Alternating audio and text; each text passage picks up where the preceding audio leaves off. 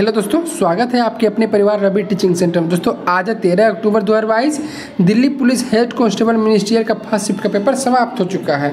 इसमें पूछे गए GK plus science plus current affair plus computer के हम लोग मैक्सिमम प्रश्न देखने वाले हैं। ऑल क्वेश्चन और सौ परसेंट रियल यदि आप पेपर दे के आ रहे हैं तो वीडियो देखना क्वेश्चन को। और फिर कमेंट बॉक्स में बताना कि पेपर सौ परसेंट रियल है या नहीं। तभी वीडियो को लाइक और चैनल को सब्सक्राइब करना, ठीक है? वीडियो का पीडीएफ चाहिए तो डिस्क्रिप्शन बॉक्स में टेलीग्राम का लिंक है। उसे ज्वाइन कर लीजिए थोड़ी देर के बाद। और क्वेश्चन मिलने के बाद वहाँ आपको पीडीएफ प्रोवाइड करा दिया जाएगा। चलिए वीडियो स्टार्ट करते हैं कि आज के फ़र्स्ट शिफ्ट में कौन कौन सा क्वेश्चन पूछा गया था। देखिए, एक क्वेश्चन पूछा गया था कि पानीपत का प्रथम युद्ध किसके किसके बीच लड़ा गया था। देखिए स्टूडेंट थोड़ा कंफ्यूज थे कि प्रथम युद्ध था या दूसरा युद्ध था, हम दोनों बताएँगे आपको। ताकि आपका आगे भी शिफ्ट में एग्ज़ाम हो तो क्लियर हो सके, ठीक है? पानीपत की पहली लड़ाई इक्कीस अप्रैल 1526 को दिल्ली के सुल्तान इब्राहिम लोधी और बाबर के बीच लड़ा गया। देखिए, पहला युद्ध इब्राहिम लोधी और बाबर के बीच लड़ा गया, ठीक है? और दूसरा यही बताएँगे। बाबर की सेना ने इब्राहिम के एक लाख से ज़्यादा सैनिकों को हराया था, ठीक है? आगे बात करें, देखिए सेकेंड युद्ध। अब जो पूछा होगा आप क्लियर कर लीजिएगा। दूसरा युद्ध पानीपत का दूसरा युद्ध पाँच नवंबर पंद्रह को उत्तर भारत के हिंदू शासक सम्राट हेमचंद विक्रमादित्य लोकप्रिय नाम उसका हेमू था और अकबर के बीच सेना के बीच पानीपत का दूसरा युद्ध हुआ। अब कौन सा था? इब्राहिम लोधिया उस वाला था कि ई वाला था?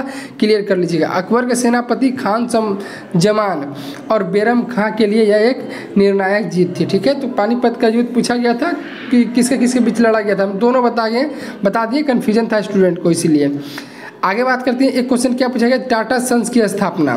क्वेश्चन क्या था? टाटा सन्स की स्थापना कब हुआ था? इसका राइट आंसर हो जाएगा उन्नीस सौ सत्रह में टाटा सन्स की स्थापना जमशेदजी जी टाटा ने किया था, उन्नीस हो जाएगा इसका राइट आंसर आगे देखते हैं हम लोग क्वेश्चन आगे भी हम लोग बात करेंगे कंप्यूटर के ऊपर भी। कंप्यूटर से खूब क्वेश्चन पूछा जा रहा है। देखिए, आगे हम लोग बात करें, सबसे ज़्यादा महिला साक्षरता कहाँ कहाँ है? सबसे ज़्यादा महिला साक्षरता कहाँ का है? तो देखिए, देश में चौंसठ पॉइंट चार परसेंट महिला साक्षर वही केरल और लक्षद्वीप में सबसे ज़्यादा तिरानवे और बिरानवे परसेंट मतलब पूरे देश में है चौंसठ पॉइंट चार। जबकि लक्षद्वीप और केरल में निन्यानवे और बिरानवे है। तो सबसे ज़्यादा कहाँ में? केरल में है तिरानवे परसेंट, ठीक है, महिला साक्षरता। मालूम हो कि साल उन्नीस सौ सैंतालीस में देश की केवल बारह प्रतिशत आबादी ही साक्षर थी, बारह परसेंट जब आज़ाद देश था तो। दो हज़ार ग्यारह में साक्षरता दर चौहत्तर परसेंट हो गई। हालाँकि विश्व की साक्षरता दर से हमारा देश अभी भी दस फ़ीसदी पीछे है। आगे पूछ सकते हैं अभी कितना फ़ीसदी पीछे है? दस फ़ीसदी हमारा देश पीछे है, ठीक है? आगे एक क्वेश्चन पूछा गया था, सुशील चंद्र किस वर्ष चुनाव आयुक्त बने? इसका ईयर पूछा गया था कब बने थे?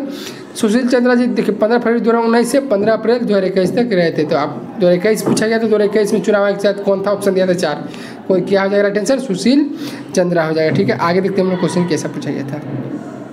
एक सिग्मो फेस्टिवल पूछा गया था कि सिग्मो फेस्टिवल कहाँ पे मनाया जाता है? इसका राइट आंसर क्या है गोवा में। सिग्मो फेस्टिवल कहाँ पर मनाया था? गोवा में मनाया था। गोवा अपने खूबसूरत समंदर के किनारे और पार्टी डिस डेस्टिनेशन के अलावा यहाँ की संस्कृति और खान पान के लिए बहुत पूरे विश्व में जाना जाता है। यहाँ हर यहाँ पर हर साल होने वाला सिग्मो फेस्टिवल भी पर्यटक के लिए बीच आकर्षण के लिए। सिग्मो फेस्टिवल बहुत अच्छा त्यौहार है। कहाँ का?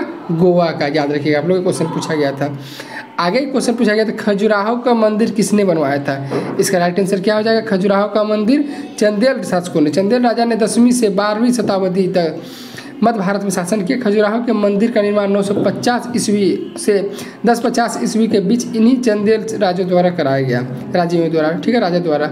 मंदिरों के निर्माण के बाद चंदेलों ने अपनी राजधानी महोबा स्थानांतरित कर दी, लेकिन इसके बाद भी, इसके बाद भी खजुराहो का महत्व बना रहा। याद रखिएगा, एक क्वेश्चन पूछा गया था तापू नृत्य कहाँ का है? तापू या तपू था जो भी हो तो तपू नृत्य कहाँ का है? अरुणाचल प्रदेश। देखिए, नृत्य से दो क्वेश्चन इस शिफ्ट में पूछा गया, ठीक है? आप नृत्य क्लियर कर लीजिएगा।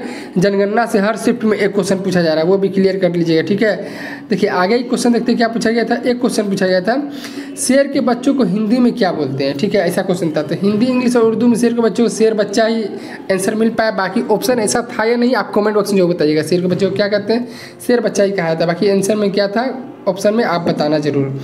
एक क्वेश्चन पूछा गया था डब्ल्यू डब्ल्यू एफ़ दो हज़ार इक्कीस किसी ने जीता? डब्ल्यू डब्ल्यू एफ़ ही था क्या? आप कंफर्म कर लेना। स्टूडेंट बताने में तुरंत आते हैं एग्ज़ाम देखे तो थोड़ा सा कंफ्यूज होते हैं। डब्ल्यू डब्ल्यू एफ़ था या कोई और था, आप कमेंट बॉक्स में ज़रूर बताइएगा, हम उसे पिन कर देंगे स्टूडेंट को पता चल जाएगा। दो हज़ार इक्कीस किसने जीता? सेमीफाइनल के अंतिम ने अंतिम में यूक्रेन की पहलवान को आसानी से हराकर फाइनल में जगह बनाई। फाइनल में उन्होंने कजाकिस्तान की पहलवान को हराकर स्वर्ण पदक अपने नाम किया। देश के गृह मंत्री अमित शाह ने स्वर्ण पदक जीतने पर अंतिम बधाई दिया है। ठीक है? याद रखिएगा आप लोग। आगे बात करते हैं हम लोग, देखिए। जीके का क्वेश्चन यहीं तक मिल पाया है। यदि आप थोड़ा सा और बेसिक क्वेश्चन मिलेगा तो डिस्क्रिप्शन बॉक्स में टेलीग्राम के लिए उसे ज्वाइन कर लीजिएगा वहाँ पे पीडीएफ मिल जाएगा। हम बात करते हैं मैथ के ऊपर ठीक है? तो मैथ की बात करें तो ट्रिगोनोमेट्री से हर शिफ्ट में लगभग एक क्वेश्चन पूछा जा रहा है। एक से दो क्वेश्चन अलजेब्रा से भी एक से दो क्वेश्चन हर शिफ्ट में रह रहा ठीक है? बात करें परसेंटेज से, एक क्वेश्चन था इसमें। एस आई सी आई से भी हर शिफ्ट में क्वेश्चन था, इसमें भी पूछा जा रहा है एक से दो क्वेश्चन था, ठीक है? एल सी एम से इसमें क्वेश्चन पूछा गया था एल सी एम से। मेंसुरेशन से भी एक से दो क्वेश्चन थे। बात करते हैं हम लोग कंप्यूटर का, सबसे महत्वपूर्ण। कंप्यूटर में दस है ना? दस नंबर का? दसों नंबर देखिए कहाँ से पूछ रहा है? एम एक्स एक्सेल दो हज़ार दस। एम एस एक्सल दो हज़ार दस कर लीजिए। क्लियर? यहाँ से स्टूडेंट बता रहा है, सात से आठ क्वेश्चन यहीं से पूछा जा रहा है। और शॉर्टकट की से, जैसे कि आप ऑप्शन दिया हुआ रहता है कि इरेज करने के लिए, कोई भी आपको दिया हुआ है, किसका प्रयोग करते हैं? शॉर्टकट की चार ऑप्शन दिया हुआ रहेगा शॉर्टकट की से हर शिफ्ट में तीन से चार क्वेश्चन पूछा जा रहा है। शॉर्टकट की से इसे कर लीजिएगा आप लोग, ठीक है? बात करें रीजनिंग का तो सीटिंग अरेंजमेंट से हर शिफ्ट में एक से दो क्वेश्चन रह रहा है। और कोडिंग डिकोडिंग से तीन से चार क्वेश्चन हर शिफ्ट में पूछा जाता है। उसके बाद ब्लड रिलेशन से एक से दो क्वेश्चन पूछा जा रहा है, ठीक है? डाइस वगैरह पासा से किसी किसी शिफ्ट में एक क्वेश्चन पूछा जा रहा है, ठीक है? और सीरीज़ वगैरह क्वेश्चन भी एक दो तीन रह रहा है, ठीक है? ये सब कर लीजिएगा इंपॉर्टेंट सब टॉपिक है, आपका अच्छा एग्ज़ाम जाएगा, ठीक है? देखिए वीडियो का आपको पीडीएफ चाहिए डिस्क्रिप्शन बॉक्स में टेलीग्राम का लिंक है, उसे ज्वाइन कर लीजिए, वहाँ मिल जाएगा पीडीएफ वीडियो पसंद आया वीडियो को लाइक चैनल सब्सक्राइब कीजिए। मेरे द्वारा हर शिफ्ट के एग्ज़ाम का एनालिसिस करवाया जाता है, ठीक है? मिलेंगे नेक्स्ट शिफ्ट की वीडियो में। तब तक के लिए जय हिंद, जय भारत, वंदे मातरम।